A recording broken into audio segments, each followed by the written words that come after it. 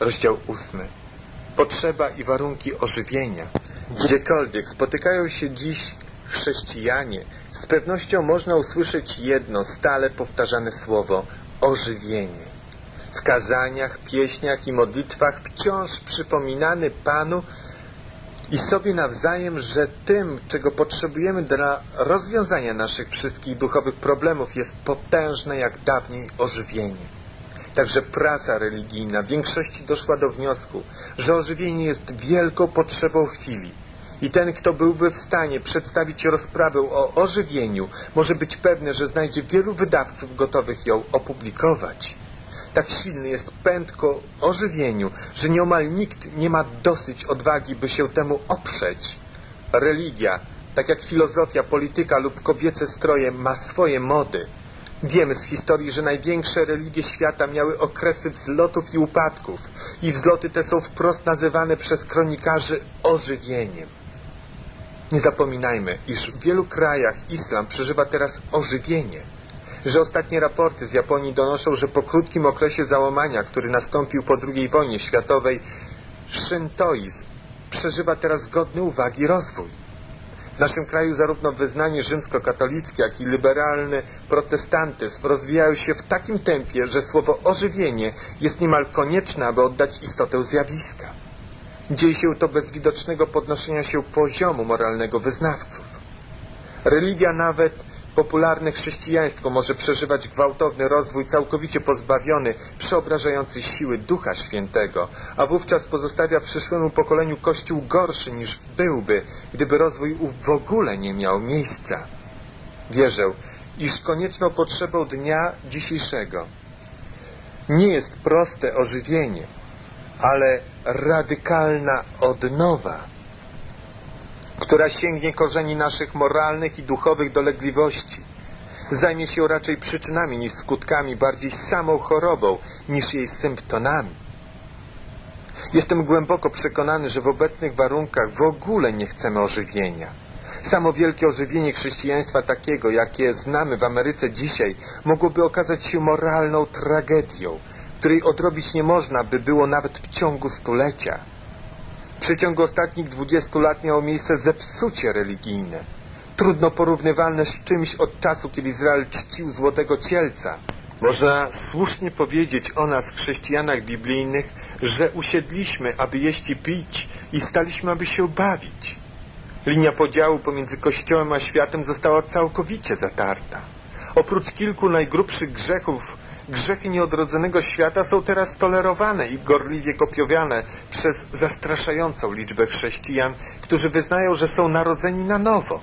Młodzi chrześcijanie przyjmują jako swoje wzorce ludzi światowych, najordynarniejszego rodzaju i usiłują naśladować ich i przypodobnić się do nich możliwie dokładnie. Przywódcy religijni przyjęli technikę ekspertów od reklamy. Przechwalanie się, wabienie obietnicami bezwstydne, przesadzanie są teraz praktykowane jako normalne metody pracy kościelnej. Klimat moralny nie jest klimatem nowotestamentowym, lecz klimatem z Hollywood i Broadwayu.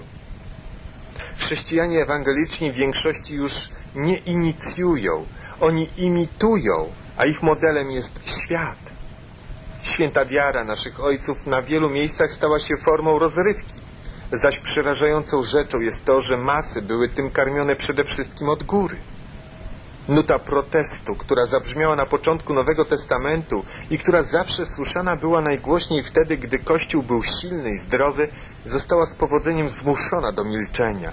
Element radykalny w świadectwie i w życiu, który dawniej powodował, że chrześcijanie byli znienawidzeni przez świat, został przez współczesne chrześcijaństwo ewangeliczne zagubiony. Chrześcijanie byli kiedyś rewolucjonistami moralnymi, ani politycznymi, lecz utraciliśmy nasz rewolucyjny charakter. Być chrześcijaninem nie jest już teraz ani niebezpieczne, ani kosztowne. Łaska stała się niedostępna, lecz tania. Trudzimy się obecnie, aby udowodnić ludziom tego świata, że mogą oni mieć wszystkie dobrodziejstwa Ewangelii bez jakichkolwiek nieprzyjemności związanych z naruszeniem ich zwyczajowego sposobu życia. Mówimy jakby wszystko możecie mieć, a niebo na dodatek. Ten opis współczesnego chrześcijaństwa, chociaż nie dotyczy wszystkich, jest jednak prawdziwy, gdy chodzi o przygniatającą większość dzisiejszych chrześcijan. Z tej przyczyny jest rzeczą bezużyteczną, aby wielkie zgromadzenia wierzących spędzały długie godziny błagając Boga, aby zesłał ożywienie. Jeśli nie zamierzamy dać się przeobrazić, to możemy równie dobrze przestać się modlić. Jeśli modlący się ludzie nie mają zrozumienia ani wiary, aby zmienić cały sposób życia, by dostosować go do wzorców nowotestamentowych, to nie może być prawdziwego ożywienia. Ofiara własnych zabiegów.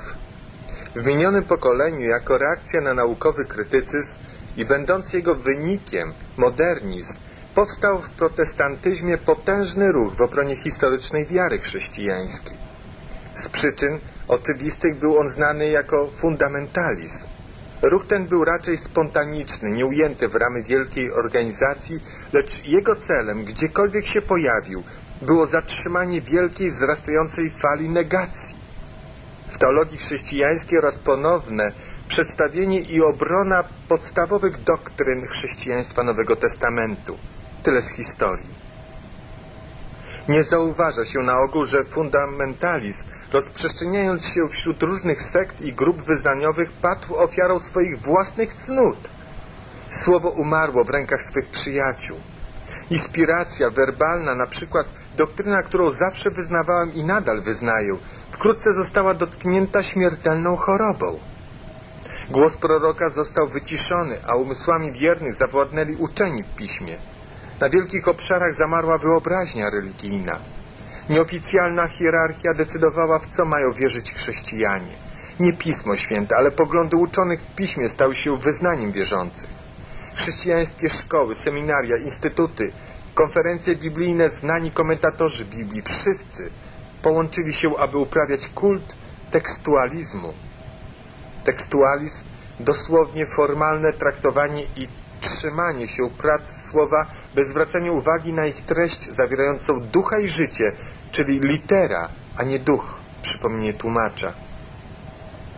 Stworzono skrajny system ułatwień uwalniających chrześcijan od pokuty, posłuszeństwa i niesienia krzyża, także został tylko sens formalny. Całe partie Nowego Testamentu były odbierane Kościołowi i usuwane według sztywnego systemu rozbierania słowa prawdy, w cudzysłowiu. Wszystko to spowodowało w umysłowości religijnej wrogość do prawdziwej wiary Chrystusowej. Coś w rodzaju zimnej mgły osiadło na fundamentalizmie. Pod nią był dobrze znany grunt.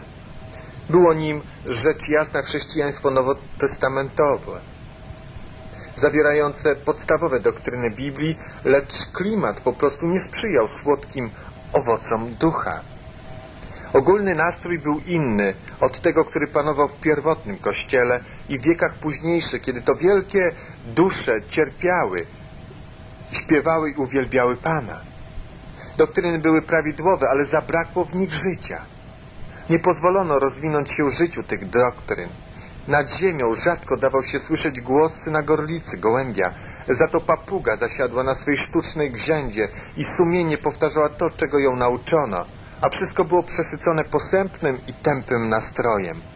Wiara potężna i ożywcza, doktryna w ustach apostołów stała się w ustach uczonych w piśmie zupełnie czymś innym, pozbawionym swej siły. Gdy litera zatriumfowała, duch wycofał się, a wszechwładne panowanie objął tekstualizm. Dla ścisłości należy dodać, że taka była jedynie ogólna sytuacja. Z całą pewnością nawet w tych smutnych czasach byli tacy, których tęskniące serca były lepszymi teologami niż ich nauczyciele. Tacy dążyli do pełności i mocy, które nieznane były całej roście. Było ich e, jednak niewielu, a przeciwności były zbyt silne, by mogli oni rozpędzić mgły unoszące się nad ziemią. Błąd tekstualizmu nie jest błędem doktrynalnym. Jest on o wiele bardziej podstępny niż błąd doktrynalny, a zarazem trudniejszy do wykrycia, lecz jego skutki są równie śmiertelne. Błędne były nie przekonania teologiczne, lecz założenia. Zakładał on na przykład, że jeśli mamy nazwę jakiejś rzeczy, to mamy też samą rzecz. Jeżeli mamy doktrynę, to znaczy mamy również i przeżycie, doświadczenie. Jeżeli coś było prawdziwe u Pawła, to jest to także koniecznie prawdziwe w nas, ponieważ akceptujemy listy Pawła jako natchnione przez Boga. Na przykład Biblia mówi nam, że możemy zostać zbawieni, natomiast tekstualizm posuwa się dalej i wmawia nam, że jesteśmy już zbawieni, a do tego stwierdzenia nie jest on uprawniony. Przeciwnym razie pewność indywidualnego zbawienia jest niczym innym, jak tylko logiczną konkluzją wyprowadzoną z doktrynalnych przesłanek, a wynikające z tego przeżycie ma całkowity charakter umysłowy. Kiedy modlitwa jest niewłaściwa? Modlitwa może być czasami nie tylko bezskuteczna, lecz również niewłaściwa. Na przykład Izrael został pokonany pod Aj i wtedy Jozue rozdarł szaty swoje, padł na ziemię przed skrzynią Pana i leżał tak aż do wieczora. On i starsi Izraelscy sypali proch na swoje głowy. Według naszej współczesnej idei ożywienia było to postępowanie właściwe i gdyby było kontynuowane wystarczająco długo z pewnością, przekonałoby Boga i przyniosło błogosławieństwo. Ale Pan rzekł do Jozłego, wstań! Czemu leżysz twarzą do ziemi? Izrael zgrzeszył. Naruszyli moje przymierze, które im nakazałem. Wstań! Poświęć lud i powiedz, poświęćcie się na jutro, gdyż tak mówi Pan, Bóg Izraela. To, co jest obłożone klątwą, jest pośród Ciebie, Izraelu. Nie będziesz mógł ostać się wobec swoich nieprzyjaciół, dopóki nie usuniecie spośród siebie tego, co jest obłożone klątwą. Konieczna jest odnowa w samym Kościele. Błaganie o to, by potok błogosławieństw spłynął na zepsuty i nieposłuszny Kościół jest stratą czasu i wysiłku. Nowa fala zainteresowania religijnego może co najwyżej powiększyć w kościołach liczbę ludzi nie mających zamiaru uznać władzy Jezusa ani być posłusznymi Jego nakazom. Bóg nie jest zainteresowany zwiększaniu liczby chodzących do kościoła, lecz chodzi mu o tych, którzy pragną zmienić swe życie i postępowanie i żyć święcie. Pan ustami proroka Izajasza wyrzekł kiedyś słowa, które powinny rozstrzygnąć tę kwestię raz na zawsze. Co mi po mnóstwie waszych krwawych ofiar? Mówi Pan. Jestem syty całopaleń baranów i tłuszczu karmnych cieląt, a krwi byków i jagniąt i kozłów nie pragnę. Gdy przychodzicie, aby zjawić się przed moim obliczem, któż tego żądał od was? Abyście wydeptywali moje dziedzińce. Nie składajcie już ofiary daremnej, kadzenie, nowi, sabatem i obrzydły, zwoływanie uroczystych zebrań, nie mogą ścierpieć świąt i uroczystości. Obmyjcie się, oczyśćcie się, usuńcie wasze złe uczynki sprzed moich oczu, przestańcie źle czynić. Uczcie się dobrze czynić. Przestrzegajcie prawa, brońcie pokrzywdzonego, wymierzajcie sprawiedliwość sierocie, stawiajcie się za wdową. Jeżeli zechcecie być posłuszni, z dóbr ziemi będziecie spożywać. Izajasz 1, 10 do 19. Modlitwa o przebudzenie zostanie wysłuchana dopiero wtedy, gdy towarzyszyć jej będzie radykalna zmiana stylu życia. Całonocne wspólne modlitwy, które nie są poprzedzone pokutą, mogą w rzeczywistości obrazić Boga. Posłuszeństwo jest lepsze niż ofiara. Musimy wrócić do chrześcijaństwa Nowego Testamentu nie tylko w słowach wyznania, lecz także w całym stylu życia. Oddzielenie od świata, posłuszeństwo, prostota, powaga, samoopanowanie, skromność, dźwiganie krzyża, wszystko to musi znowu stać się istotną częścią idei pełnego chrześcijaństwa i być realizowane w życiu codziennym.